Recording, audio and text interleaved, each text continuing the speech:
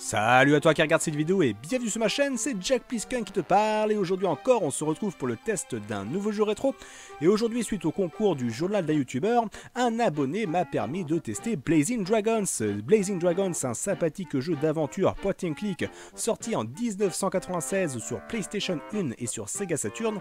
Alors je teste aujourd'hui la version euh, PlayStation 1, c'est développé par Illusions Gaming Company et c'est publié par Crystal Dynamics. Alors je crois bien que c'est la première fois que je fais un un jeu de ce genre sur la chaîne, puisqu'en effet je ne suis pas forcément fan du style point and click. Alors j'ai rien contre ces jeux là, hein, c'est juste que j'ai la patience d'un nouveau-né affamé. Petit tour dans les options pour vous montrer un petit peu de quoi il en retourne, un petit tour dans les options du son, alors on va rien changer, hein, les musiques et les volumes sont parfaits comme ça. Les contrôles pareil, hein, pas grand chose à assimiler puisque c'est un jeu qui se joue euh, très simplement avec euh, quelques touches seulement. Par contre deux systèmes de sauvegarde, ça c'est plutôt intéressant. Un système de sauvegarde avec une carte mémoire et un système de sauvegarde avec des mots de passe. Évidemment vous êtes des gamers chevronnés, vous avez donc tous en votre possession une petite carte mémoire en plastique j'imagine. On va sortir et commencer une nouvelle partie immédiatement et pour une fois je vais régulièrement fermer ma gueule, ça va vous faire du bien, pour vous laisser profiter un petit peu des dialogues truculents et remplis d'humour.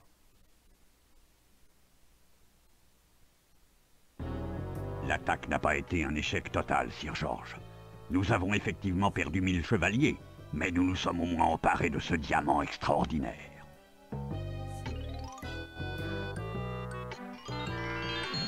Il est à moitié dévoré Maudit dragon Mervin, j'ai besoin d'un conseil diabolique. Comment pourrais-je m'emparer de Camelot hmm. Mes espions viennent de me communiquer des informations diaboliquement délicieuses au sujet de l'avenir de Camelot.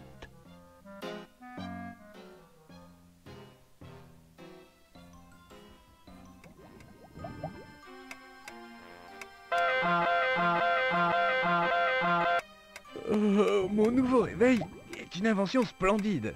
En lui ajoutant la sonnerie à retardement, j'ai fait preuve de génie. Flamèche, dépêche-toi, espèce de sac de crotte de dragon flemmard Le roi Artifur t'attend Je voudrais juste essayer la sonnerie à retardement encore une fois. Je descends dans 9 minutes. C'est bien, je dirai au roi, notre souverain absolu, maître de tout ce qu'il contemple, que tu es trop occupé pour lui accorder un moment de ton temps précieux. Oh, ça va Ne t'emballe pas Dis au roi que j'arrive Peut-être qu'il s'agit de ma demande de participation au tournoi de demain. Si je ne gagne pas, la princesse Flamme sera obligée d'épouser quelqu'un d'autre. Du coup voilà, me revoilà enfin en possession de mes moyens. On a devant nous du coup une petite introduction à l'histoire avec euh, directement les antagonistes, hein. on a déjà un petit aperçu de leur plan machiavélique. Puis enfin on a notre héros donc Flamèche hein, qui est un dragon qui est un petit peu euh, flemmard mais surtout un inventeur, euh, alors je dirais bien de génie mais ses inventions marchent une fois sur deux qui, euh, qui va évoluer dans un monde qui va parodier bien évidemment euh, les chevaliers de la table ronde avec Camelot et compagnie. Bref, un jeu, ma foi, rempli d'humour. En termes de gameplay, comment ça se passe? Eh bien, point and click oblige, nous avons un curseur pour réaliser diverses actions. Donc euh, l'action de base est de marcher, hein. quand j'ai euh, le curseur qui symbolise les pieds, ça veut dire que je peux me déplacer assez librement dans le tableau. Je peux switcher avec les gâchettes pour euh, donc sortir un œil qui me permet d'observer un petit peu mes alentours, certains éléments du décor, on va dire activables ou non, si je peux me permettre de parler ainsi. Donc quand l'œil est à moitié clos, je ne peux rien faire, et quand l'œil s'ouvre subitement, c'est-à-dire qu'il y a quelque chose à observer. Je peux donc aussi utiliser la bouche de personnage pour parler à d'autres protagonistes juste me parler à moi tout seul. Hein, euh, plein d'informations très intéressantes et parfois juste des dialogues rigolos s'activent. Et enfin, le dernier point le plus important, c'est euh, la patte qui me permet donc de choper des objets qui m'aideront bien évidemment à résoudre certains puzzles. Donc là, je sais à peu près ce qu'il faut faire au début, donc ça va être un peu plus simple. Hein, je ne vais pas tout observer pour autant, mais moi je vous conseille de le faire puisque s'ensuit toujours des dialogues plutôt rigolos. Hein. Donc là, par exemple, si je regarde, euh, voilà, le cadre, le cadre photo sur ma petite commode, c'est une photo de la princesse Flamme. Elle est la prunelle de mes yeux, la crème de mon café, la cerise sur mon gâteau. Étrange, chaque fois que je pense à Flamme, j'ai l'estomac qui se creuse. Et moi, quand je pense à Fernande, je bande. Du coup, voilà, ça sert pas à grand chose puisque voilà, je ne peux pas, par exemple. Alors là, ça marque oui, mais si je, si j'active la, poignée, eh bien, il va me dire que moi, non, je peux pas prendre la photo. Donc voilà, je peux souvent interagir avec les choses, mais c'est pas toujours euh, efficace, hein, c'est pas toujours utile. Là, par exemple, je vais pouvoir prendre mon bas de pyjama qui va me permettre de résoudre une énigme un petit peu plus tard. Alors, chaque fois que je chope un objet, je peux l'utiliser directement sur un autre objet ou le ranger dans ma besace. Hein. C'est un sac, euh, c'est mon inventaire, il est infini, je crois, ou à quelque chose près. En tout cas, il est extrêmement large. Hein. Voilà, il y a beaucoup d'objets que je peux rentrer là-dedans. Je ne sais pas où je le range, mais en tout cas, c'est plutôt pratique et efficace. Donc là, pareil, je sais ce qu'il va falloir que je fasse. Il va falloir que je prenne ce bocal. Attention. Salut, mon petit copain. Tu brûles d'impatience de montrer au gentil public comme tu es un gentil papillon de nuit bien élevé.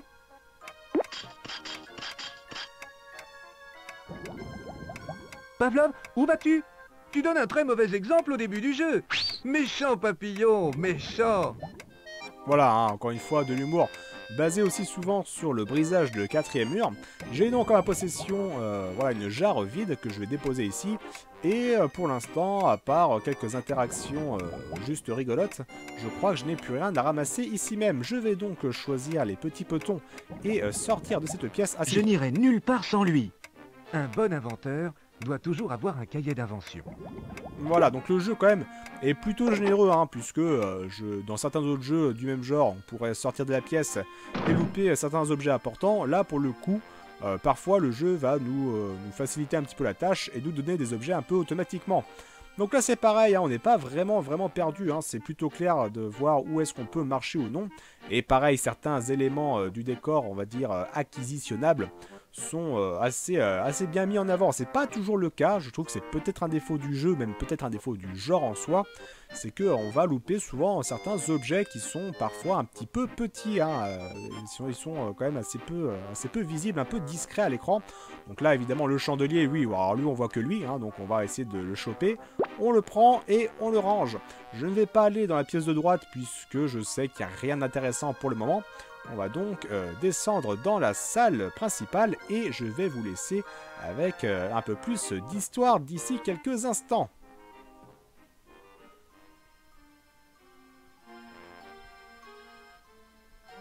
Flamèche, en ce qui concerne le tournoi de demain, ma réponse est non. Le tournoi n'est ouvert qu'aux chevaliers dragons. Tu n'es pas un chevalier. Tu n'es même pas un écuyer. Chevalier de la table carrée, votre attention, s'il vous plaît. Silence, s'il vous plaît Silence pour le roi Silence, je vous prie Le roi parle Chut. Oh, désolé. Nous devons faire quelque chose, Flamèche. Je refuse d'épouser un de ces imbéciles. Fred font mieux, Flamme. Je te le promets. Tiens, des visiteurs. Des, humains, à Camelot Salut, roi garniture Je suis vraiment peiné d'apprendre que vous avez enfin décidé de prendre votre retraite. Lorsque mon candidat à votre tournoi, le Dragon Noir, aura gagné, aura été couronné roi, il fera des sacs et des chaussures à talons avec votre peau. Quoi? Les humains n'ont pas le droit de participer au tournoi. Le règlement de Camelot est bien clair là-dessus. Chancelier, Hmm, vous avez raison, en effet, sire. Le paragraphe 18 de la section 9 du chapitre 3 stipule que les humains ne peuvent prendre part à aucun tournoi. Sauf, bien sûr, si leur représentant est un dragon. Chancelier, je crois que vous faites erreur. Le paragraphe 18 de la section 9 du chapitre 3 ne fait-il pas référence à une loi obscure interdisant que l'on se cure le museau en public? Oui, mais euh, j'ai changé la loi par accident. Ceci est une affaire d'état délicate, roi Artifure. Je ne pense pas que la princesse soit intéressée par ces discussions. Très juste. Tais-toi, ma chérie. Continuez à vous disputer pendant que vous avez encore l'occasion. Demain, Camelot sera à moi. Partons, Mervin. Les humains, quoi? Nous aurions dû faire griller ces petites bestioles roses dès qu'elles sont arrivées. Calmez-vous. Notre adversaire peut être vaincu. Votre mission est de recueillir des informations sur ce mystérieux dragon noir. Oui, sire. Père, Flamèche a besoin d'une mission. Oui, d'accord. Flamèche, je t'ordonne de laver toutes les assiettes entassées dans la cuisine royale. Waouh Super Toyo, les gars Allons casser du dragon noir C'est une expression bien française, vous savez.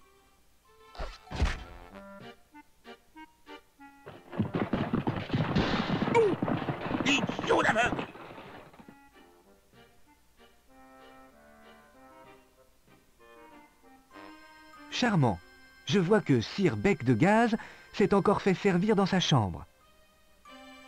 Du coup, voilà, on a un peu plus d'informations concernant l'histoire. Donc, les méchants humains euh, veulent prendre possession de Camelot. Et euh, nous, euh, alors voilà, au lieu d'aider un petit peu tout le monde, on est un petit peu le commis de service. Hein, personne ne nous prend au sérieux.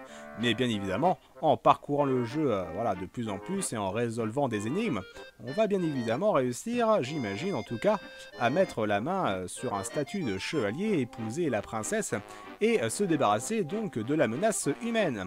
Du coup, nous voici dans les cuisines comme su se nommer, et qu'est-ce que je peux faire? Eh bien, c'est très simple, je vais pas me taper toute la vaisselle, hein, je vais devoir trouver un système ingénieux pour pouvoir laver cette vaisselle toute seule. Alors c'est très simple, hein, je vais observer les alentours, hein, je peux regarder par exemple là, alors les casseroles, qu'est-ce qu'elles font les casseroles? Les bouilloires royales n'arrêtent pas de bouillir sur le fourneau, au cas où le roi voudrait noyer sa colère dans une tasse de thé. Ah, une bouilloire, pardon. Donc là, c'est pareil, hein, il faut être très observateur, hein, puisqu'on peut louper pas mal d'éléments. hein. Certains éléments se fondent relativement bien dans le décor.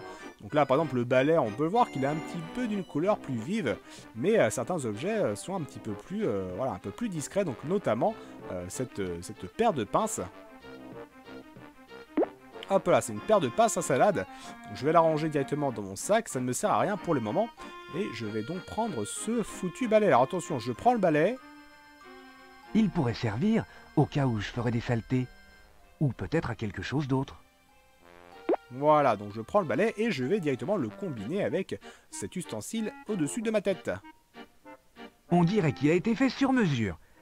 Si seulement je pouvais faire tourner cette chose.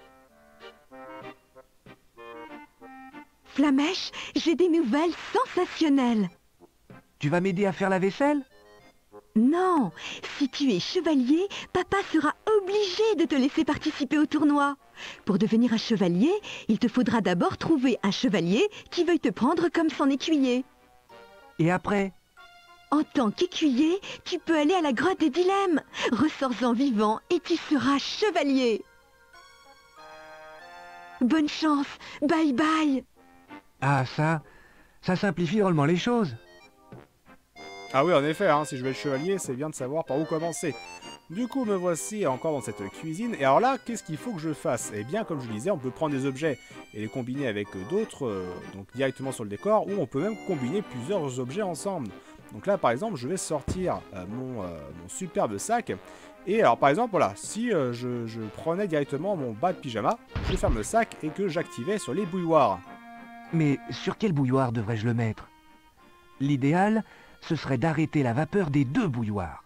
Voilà, on a un petit indice, hein, mais il faut quand même réfléchir un petit peu puisque tout n'est pas extrêmement clair. Alors je vais être totalement, euh, voilà, totalement honnête avec vous. J'ai déjà fait une vidéo en amont et j'étais un peu bloqué ici. Hein, je savais pas ce qu'il fallait, euh, ce qu'il fallait faire. Pourtant, j'avais pensé essayer tous les objets et en fait pas du tout, puisqu'en effet, il faut que je prenne donc, euh, voilà, le chandelier, voilà, précédemment chopé dans le couloir. Je le prends, je le dépose sur les bouilloires. Comme ça lui ceci. va comme un gant. C'est tellement bien ajusté que la vapeur ne s'échappe plus.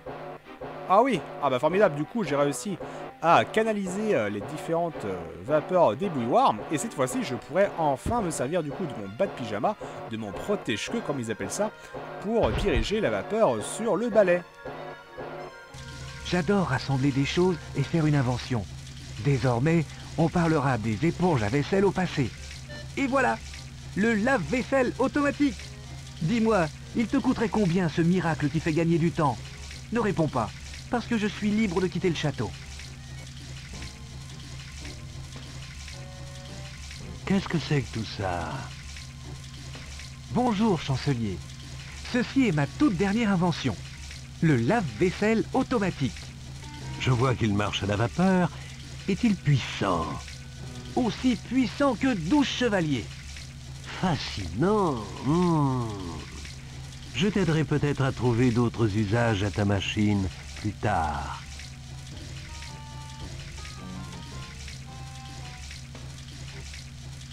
Ouais, le chancelier, moi j'ai pas confiance, hein. il a l'air un petit peu sournois. Du coup, voilà, on peut considérer que la vaisselle est faite, hein, même si, bon, moi personnellement, je vois pas quelque chose de se laver. Mais euh, du coup, voilà, alors, c'est une bonne chose comme une mauvaise chose à mes yeux, hein. ça fait partie euh, du, intégrant du genre du click. C'est que parfois, les énigmes sont un petit peu tirées par les cheveux, puisque la logique, moi, me dirait que euh, voilà, la, la, vapeur peut pas rentrer dans un coin d'un chandelier pour ressortir de l'autre, mais bon, voilà, il va falloir tester un petit peu plein de choses. Alors c'est un jeu pas forcément difficile, hein, puisque pareil, hein, quelque chose de très commun dans le point and click, on ne peut pas perdre dans ce jeu, on n'a pas de game over possible, on peut pas se retrouver bloqué à proprement parler. Du coup, en fait, il va falloir tester souvent, voilà, euh, essayer de trouver le plus d'objets possible, les tester sur un maximum d'objets, faire le plus de combinaisons réalisables et voir ce qui marche ou ce qui ne marche pas. Mais voilà, des fois, c'est pas extrêmement logique, ça nous, euh, nous tape pas dans l'œil au euh, premier coup. Donc je suis libre de partir, je vais donc me barrer de cette cuisine où je n'ai plus d'intérêt particulier. Alors j'ai bien récupéré la, la voilà, la, passe en salade, je crois. Donc je peux euh, retourner dans mes quartiers, je peux remonter, je peux parler au roi, je crois pas qu'il ait quelque chose de très intéressant à nous dire. Je vais donc continuer dans ce couloir-ci. Mais du coup, pour parler un petit peu du jeu en soi, qu'est-ce que c'est que Blazing Dragons? Eh bien, de base, c'est apparemment un dessin animé sorti uniquement aux États-Unis. Alors, été créé, si je ne dis pas de bêtises, par des gars responsables de Monty Python. Monty Python, bien évidemment, un groupe comique anglais que l'on que ne présente plus. Et du coup, c'est un peu dommage que euh, le dessin animé ne soit pas sorti en France, puisque vu l'humour du jeu, hein, c'est plutôt pas mal. Moi, ça me fait quand même pas mal rire eh bien, euh, c'est dommage qu'on n'ait pas pu vraiment profiter de cette euh, œuvre, euh, œuvre de dessin animé pour enfants. On va donc aller voir la princesse de ce pas. Qu'est-ce qu'elle nous raconte? Flamèche, ceci est ma chambre. La prochaine fois, je te prierai de frapper avant d'entrer. Ah oui, t'inquiète, on sait jamais ce que tu peux faire. Donc là c'est pareil, hein, plein de petites choses à observer. En fait, chaque nouveau tableau est une scène à, comment dire, à, comment dire, à regarder sous toutes les coutures, dans le sens où on peut louper pas mal d'éléments qui peuvent au premier abord nous paraître complètement inutiles. Donc là, par exemple, je vais regarder cette fiole derrière moi.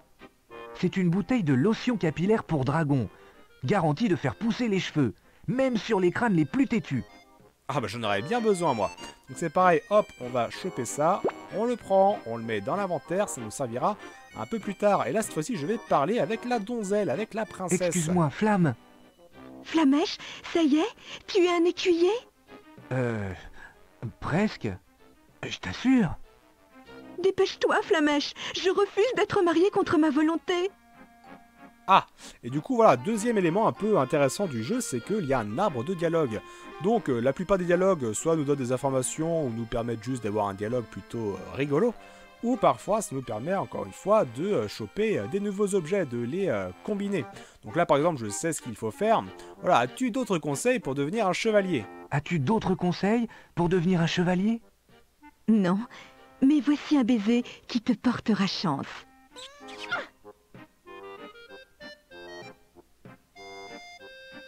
Ah, un petit cœur qui s'envole. Alors par exemple c'est pareil, il faut le savoir. J'imagine que c'est c'est peut-être euh, dit un peu plus tard, on a peut-être une information euh, euh, qui nous est soufflée à l'oreille un peu, un peu plus tard. Donc je vais prendre la, le, le, bocal, prendre la fiole, et je vais cliquer sur la princesse. Pourrait-on essayer ce baiser de bonne chance encore une fois? Hop, et j'ai donc en ma possession un bisou, un petit cœur d'amoureux tout mignon. Et je crois que je n'ai pas grand chose de plus à faire ici. Alors évidemment, hein, je vous le redis, pour ceux qui joueront au jeu eux-mêmes, euh, vous aurez euh, bien évidemment euh, plus de patience que moi à vouloir dialoguer et essayer le plus de combinaisons possibles. Bon moi c'est juste pour montrer un petit peu comment ça se passe dans le jeu et on va donc sortir d'ici. Mais bref, vous avez devant vous un jeu, ma foi, plutôt sympathique avec des dialogues très très portés sur l'humour. Une adaptation plutôt bonne puisque bon, on perd quelques blagues euh, par rapport à la version anglaise avec des jeux de mots un peu plus subtils. Mais on est quand même gâté par des doublages de qualité puisqu'il y a des voix quand même plutôt connues, euh, notamment le roi qui est déjà euh, un personnage je crois dans Gargoyles, hein, le dessin animé Gargoyles. Une grosse voix comme ça, très grave, très très reconnaissable. Mais voilà, on a une bonne adaptation, on a des super dialogues, on a des, bons, doubleurs. C'est un jeu plutôt agréable artistiquement parlant. Après, visuellement parlant aussi, c'est pas vilain, c'est juste que bon, c'est un petit peu vieillot. Hein. La 2D est plutôt sympathique, mais l'animation est très sobre et assez simple. Et dans le même genre, ça fait quand même pas mal penser à Monkey, euh, Island, hein, un autre jeu très très connu du type point and click. Et euh, voilà, ça fait beaucoup penser à ça, donc là c'est juste qu'on remplace la piraterie par une parodie du monde de Camelot. Alors, qu'est-ce que j'ai là sur le lit? J'ai euh, des bouquins, les bouquins je vais les prendre directement. Je prends le Monarchy Magazine avec moi, au cas où j'aurais des insomnies.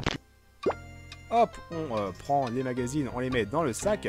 Et pareil, alors derrière il faut le voir. Et voilà, je vais quand même activer le dialogue. Hum, des cure-pipes. Le roi a dû se nettoyer les sinus. Donc voilà, des cure-pipes, comme ils appellent ça, je vais prendre je ça. Je n'ai pas de problème de sinus, mais ce cure-pipe pourrait m'être utile. Et ça me servira un peu euh, plus tard. Donc il va falloir être très observateur pour ne rien louper euh, du tout. Alors on va se euh, barrer d'ici. Mais du coup voilà, un, jeu plutôt sympathique, une bonne découverte pour ma part. Après il n'est pas très difficile et surtout il n'est pas très très long. En une journée franchement c'est bouclé. On peut finir le jeu en 3 ou 4 heures en observant un petit peu tout, en étant assez attentif et pas forcément euh, voilà, des, plus, euh, intelligents euh, comme moi. Et du coup, un jeu, ma foi, qui fait une bonne introduction pour le, genre du point and click. Hein. un jeu assez, assez facile, mais pas pour autant ennuyeux. On va partir d'ici et voilà, on va parler directement. Alors, je crois que c'est. je sais pas si c'est la secrétaire, le concierge, enfin bref. voilà. Je vous demande pardon. Oui Que puis-je faire pour toi? Alors j'ai besoin de votre aide, pourrais-je avoir des informations utiles Que tricotez-vous? J'ai besoin d'une de ces... Hein, et j'ai toutes les informations dont j'ai besoin. Donc pareil, là je sais ce qu'il faut J'ai toutes les informations dont j'ai besoin. C'est, je crois, euh, si je ne dis pas de bêtises, lui donner euh, les magazines, puisque sinon je crois qu'elle ne nous laisse pas sortir un truc dans le genre. Et paf Ce n'est pas le moment de faire cela. Ah, bah je, me, je dis peut-être des bêtises. Bon bah hop, je m'en vais et je vais voir si je peux partir directement. Je ne peux pas partir tout de suite. Je dois savoir où aller d'abord. Ah oui, bon voilà, je vais, venir reparler du coup à ce euh, personnage-là. Mais du coup voilà, un je vous demande jeu, euh, plutôt cool. Oui Que puis-je faire pour toi? Alors euh, j'ai besoin de voilà, des informations utiles. L'endroit le plus fréquenté de Camelot est la salle de bain du roi. Depuis qu'il a commencé ce régime de rubis liquide, le roi y vient cinq fois par jour. Ah, bah c'est très intéressant ça. Besoin de votre aide. Je dois trouver les cheveux de, la table carrée. J'ai une carte à moitié enchantée. Elle t'indiquera où tu veux aller, même si tu ne sais pas que tu veux y aller. Ah voilà, donc j'ai la carte avec moi. La carte c'est plutôt pratique puisque en fait je peux me téléporter euh, directement. Eh bien oui, dans un endroit euh, qui m'intéresse. Ça ne servira pas à grand chose de mettre ces trucs ensemble. Ah, bah, je vais l'arranger. Voilà. Paf. Et je vais l'observer. Voilà, donc comme je vous le disais... La carte est véritablement enchantée. Je peux voir où sont partis les quatre chevaliers. Voilà, je peux donc voir où sont partis les chevaliers et aller dans leur destination et euh, évidemment euh, voilà, changer quelques petits trucs à droite et à gauche. J'ai même des endroits un peu euh, secondaires. Du coup, un petit jeu sympathique que je recommande à toute personne aimant le jeu du point and click. la taupe royale est en train de massacrer les rues de Camelot. Ah, il va falloir faire sûrement quelque chose avec cette taupe. Vous pouvez trouver le jeu sur eBay en complet, donc boîte de jeu manuel et jeux compris aux alentours de 40 euros, ce qui en fait quand même un jeu relativement cher. Mais euh, ma foi, ça peut s'expliquer par le fait que c'est un jeu quand même euh, assez, euh, assez rare. Sinon, il existe aussi un speedrun du jeu qui se réalise en 31 minutes et 27 secondes. Et la particularité du jeu aussi, c'est que ça peut alterner des fois les phases de recherche très pointées et cliquées par des phases de, comment dire, des, petits mini-jeux. Donc là, je sais qu'il va falloir prendre le bâton, par exemple. Hop, on prend ça et on le combine avec les termites. Hop, ce qui en fait un bâton recouvert de termites. Ça nous servira contre un euh, supposé joueur de flûte, mais ça je vous laisse découvrir par vous-même. Sur ce, c'était Jack Piscon qui jouait à Blazing Dragons. J'espère que ça vous aura plu. Je vous souhaite donc une bonne journée, prenez soin de vous et à très vite. Salut